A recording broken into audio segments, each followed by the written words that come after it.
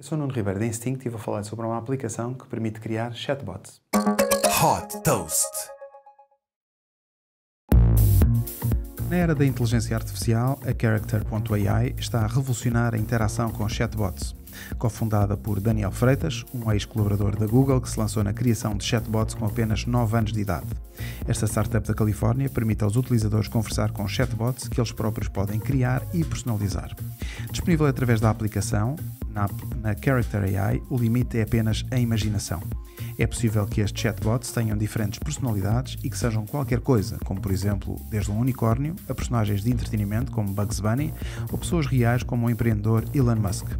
Todos os utilizadores podem conversar com os milhões de chatbots criados por outros utilizadores e que forem tornados públicos, quer seja para aprender novas línguas, para receber uma inspiração para escrever um romance ou escrever código para programação.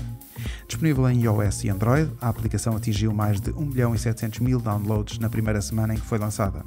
Desde que foi fundada em 2021, a Character AI já captou 150 milhões de dólares e tem como principal investidor Andreessen Horowitz. Super Toast by Instinct.